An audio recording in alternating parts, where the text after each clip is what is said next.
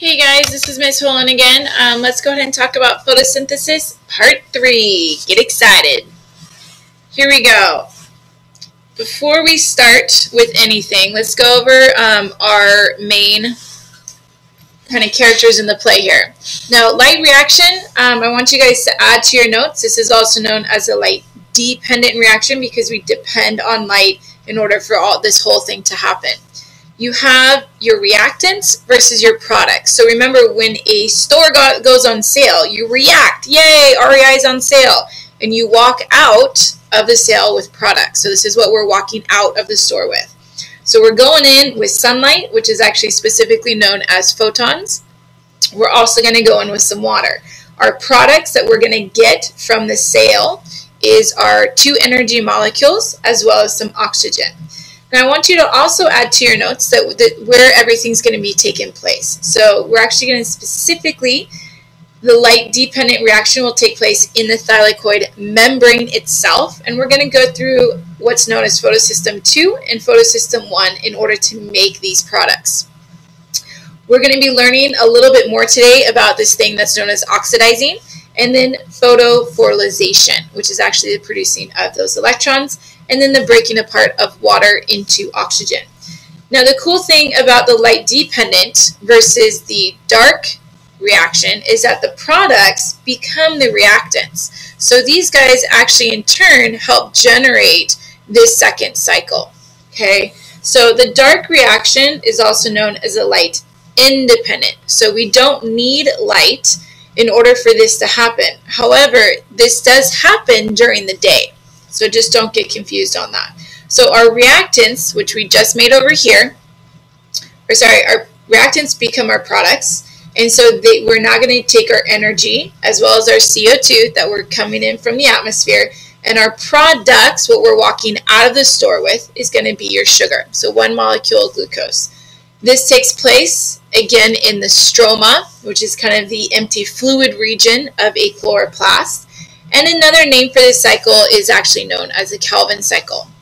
Also, please make sure to note what your actual formula is for photosynthesis. So here are our reactants. These are the things that we're going to react to the sale. So water, CO2, and sunlight. And then our products, what we come out of the store with, is going to be our oxygen and our sugar. Now go and take a second and grab this diagram from your notes, which we did in the last lecture. I want to add a few things here and then some extra information on top of what we've already learned. Alright, so let's just review real quickly. Photons is a light energy. It is going to get attracted to the first protein here that contains chlorophyll B. That attraction of light stimulates this little ping pong reaction, and you'll learn more about the specifics in AP Bio or in college. And this energy attraction allows this molecule that's actually known as P680, okay, to get stimulated and to grab the electron that's actually generated from the water itself. This breaking apart of water to get an electron and a couple of hydrogen ions is known as oxidizing. So I want you to add this term to your notes here. So oxidizing water, because we are causing oxygen to appear by breaking off the water. And remember the term ion means it's simply a charged um, particle. Now also keep in mind here that our pigments don't just have chlorophyll A or B, but we also have our little helpers here, which are your accessory pigments. So when the sun is not so bright and we start cruising into, say, winter, you have your accessory pigments, so like your carotenoids, maybe your xanthophylls, things like that, that will reflect other colors. Um, when they stop working, that's when the leaf will eventually die. Okay. All right. Now, our electrons are going to journey through, remember what's known as our ETC, okay, our electron transport chain, until it goes to our chlorophyll A protein, which is known as your photosystem 1. Remember, photosystem 2 was discovered first. That's the name of this big guy. And then photosystem 1 was actually, or sorry, discovered second, discovered first, and that's the second protein here. Now I want you to add a couple new names. This specific protein is known as a PQ. electron is going to go to him first, and we're going to start to lose energy along the way. So we're kind of dropping down. This big guy is known as the B6F complex, and then the next little protein is known as a PC. So as the electron is losing energy, okay, we're able to actually grab some extra hydrogen ions out in the stroma area and bring them in to what's known as the lumen. So here's another new word for you. So the lumen is the actual inside of our thylakoid membrane. So we're going to take these hydrogen ions from the outside as well as from the water and we're going to blow this guy up almost like a balloon. So we're filling him up, filling him up. Now these hydrogen ions, remember, are going to journey on over into what's known as the ATP synthase. Now this guy actually turns like a pinwheel. So he actually turns around and generates energy. And as these guys are going from a high concentration inside here to a low concentration outside, they're able to connect ADP with a lonely phosphate to create our ATP. So hence his name, ATP synthase, is generating ATP. And just remember, it's actually from the hydrogen ions. Now also remember that our little electron, as he loses energy, loses energy, is going to need to get pumped up again. And so by the time we hit that second protein, the photosystem 1, we reignite it with more sunlight, do our little ping pong reaction, and now this guy has a lot of energy that we can now harness. And that harness energy, when he gets shot out, actually connects together this molecule known as NAD with some hydrogen ions, and then in turn creates what's known as NADPH, which again is another electron carrier. This process of creating electrons and harnessing them is actually known as Alright, so here's our big picture. We've seen this before and we've talked about this in some of our previous lectures, but I want to remind you this is a process that we just talked about. We created ATP, NADPH as some products of the light reaction as well as oxygen.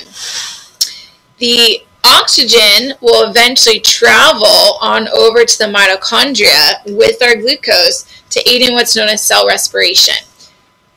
The ATP and NADPH, which we're going to talk about right now, is going to join in with the stroma, the actually empty fluid area of the chloroplast, and go through what's known as a dark reaction. This is also known as the light independent reaction because we don't actually need sunlight in order for this to happen.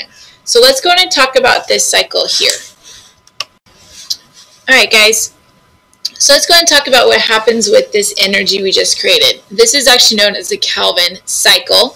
Again, no sunlight is actually required for this. It does happen inside the stroma area, which remember is the empty spot of that chloroplast. This is also known as a light independent reaction. Now, our players in this theatrical game here is your CO2. We've also got our ATP and then our NADPH. These guys are going to go into our Calvin cycle, which again is named after Melvin Calvin in the 1940s.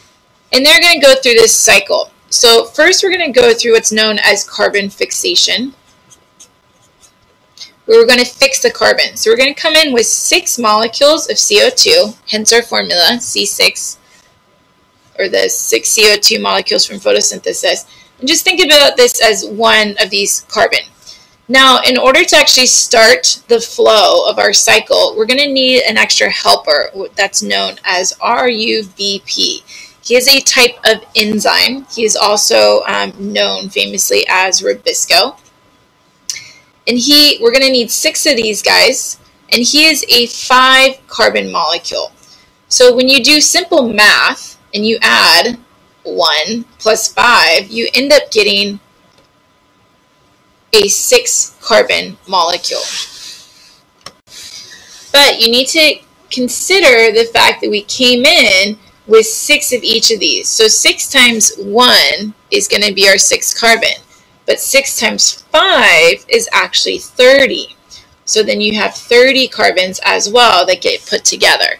So the 6 and 30 carbons actually end up reforming a 36 carbon molecule frame that gets built into this 12 three carbon molecule. Bear with me here, guys. Simple math. So 6 and 30